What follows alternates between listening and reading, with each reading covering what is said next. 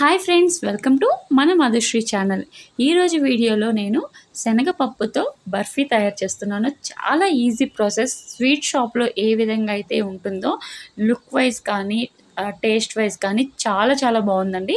మీరు అందరూ కూడా ట్రై చేయండి. చాలా ఈజీ చిన్నపిల్లలు కూడా అట్లే చేసేస్తారనమాట సో లేట్ చేయకుండా వీడియోలోకి వెళ్ళిపోదాం. దానికన్నా ముందు మన ఛానల్ మీరు ఇంతవరకు సబ్స్క్రైబ్ చేయనట్లయితే సబ్స్క్రైబ్ చేసుకోండి లైక్ చేయండి షేర్ చేయండి. సో ముందుగా ఇలా ఒక కప్పు శనగపప్పు తీసుకున్నాను. ఇది చట్నీ పప్పు అనమాట సో ఇవి తీసుకున్నాను. సేమ్ అదే క్వాంటిటీలో ఒక కప్పు షుగర్ తీసుకున్నాను. తర్వాత ఒక మిక్సీ జార్ తీసుకొని ఈ శనగపప్పుని మీరు కావాలంటే వేయించుకొని కూడా వేసుకోవచ్చు. నేను పచ్చివే వేస్తున్నాను. పచ్చివైనా కానీ చాలా టేస్ట్గా ఉంటాయి. చాలా స్మూత్గా ఇలా గ్రైండ్ చేసి పెట్టుకోవాలి. సో చూడండి ఈ విధంగా మనకి పౌడర్ లాగా తయారవ్వాలి. ఇలా తయారైన తర్వాత ఇది పక్కన పెట్టేసుకోండి. తర్వాత స్టవ్ ఆన్ చేసి ఒక ప్యాన్ పెట్టేసి వన్ కప్ షుగర్ని ఇందులోకి యాడ్ చేసేసేయండి. వన్ కప్ షుగర్కి హాఫ్ కప్ వరకు వాటర్ని యాడ్ చేసి ఇది కొంచెం స్టిక్కీగా అయ్యేంత వరకు కలుపుతూ ఉడికించుకోండి. అంటే మనకి పాకం రావాలన్నమాట.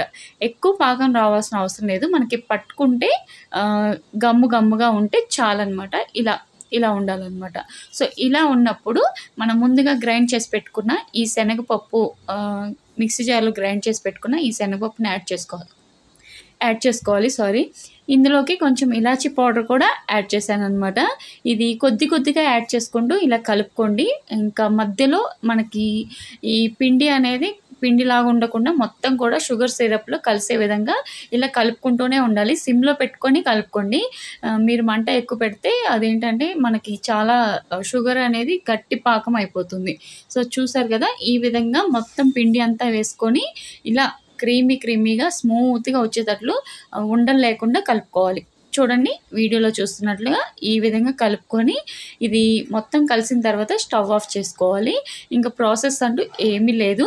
జస్ట్ ఇలా మొత్తం కలుపుకున్న తర్వాత స్టవ్ ఆఫ్ చేసేసుకొని ఒక ప్లేట్ కానీ లేకపోతే ఏదైనా ట్రే కానీ తీసుకొని అందులోకి నెయ్యి కానీ ఆయిల్ కానీ రాసుకోవాలి. ఇలా మనం ఓపెన్ చేసేటప్పుడు మనకి ఈజీగా వచ్చేయడానికి అనమాట సో మనం ఇలా తయారు చేసుకున్న ఈ పిండిని మొత్తం కూడా ఇందులోకి వేసేసేయండి. సో కన్సిస్టెన్సీ చూసారా? ఎంత స్మూత్గా ఉందో. సో ఇలా ఉండాలన్నమాట. రిబ్బన్స్ రిబ్బన్స్గా ఉండాలి మనకి. అప్పుడే పర్ఫెక్ట్గా కుక్ అయినట్లు. సో ఇలా మొత్తం ఇందులోకి ప్లేట్లోకి ట్రాన్స్ఫర్ చేసుకున్న తర్వాత ఒకసారి ట్యాప్ చేసుకొని ఇది ఆరపెట్టుకోవాలి. మీరు ఇందులోకి పైన గార్నిష్కి ఏవైనా వేసుకోవచ్చండి. చూడ్డానికి మనకి లుక్ వైజ్ కావాలి కాబట్టి నేనైతే కొంచెం బాదం పలుకులను వేస్తున్నాను. ఇంకేమీ యాడ్ చేయట్లేదు. ఇట్లా ఉన్నా కానీ టేస్ట్ బాగుంటుంది. మీకు గార్నిషింగ్ కావాలి అంటేనే ఇలా వేసుకోండి. లేదంటే లేదు. మనకి స్వీట్ షాప్లో ఖచ్చితంగా గార్నిష్ చేసేస్తారు కాబట్టి కాబట్టి సో ఈ విధంగా వేసుకున్నాము. సో ఇదంతా కూడా ఇలా స్ప్రెడ్ చేసుకున్న తర్వాత మనం ఒక పది నిమిషాల తర్వాత ఒకసారి కట్ చేసుకోండి. మనకి గట్టిగా అయిన తర్వాత షేప్స్ రావాలంటే రావు. ఇలా కొంచెం మెత్తగా ఉన్నప్పుడే మనకి ఈ షేప్ ఏ షేప్ కావాలంటే ఆ షేప్ కట్ చేసుకోవాలంటే మనం ఇలా కట్ చేసుకోవచ్చు. లేదంటే ప్లేట్ మొత్తాన్ని రివర్స్ తిప్పేస్తే అది మొత్తం చెక్క చెక్కగా వస్తుంది. సో అప్పుడైనా మనము పీసెస్ చేసుకోవచ్చు. ఇలా చేసుకుంటే ఏంటంటే మనకి ఏ షేప్ కావాలంటే ఆ షేప్ వస్తుంది. సో చూసారు కదా ఇలా ఈజీగా మనం చాక్తో కానీ లేదంటే రివర్స్లో గట్టిగా కొడితే ఇవన్నీ కూడా ఊడొచ్చేస్తాయి.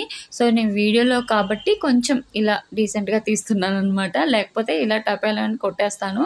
ఒక ప్లేట్ బాల్ ఇచ్చేసి ఇలా కొట్టేస్తేనే మొత్తం బయటకు వచ్చేస్తాయి అనమాట సో ఈ విధంగా మనం పీసెస్ అన్నీ కూడా కట్ చేసి పెట్టుకోవాలి. సో ఇంతేనండి. చాలా ఈజీ తర్వాత మీరు ఇంకా ఇంట్లో వాళ్ళకి సర్వ్ చేసేయచ్చు. చాలా ఈజీ ప్రాసెస్ మీరందరు కూడా ట్రై చేయండి.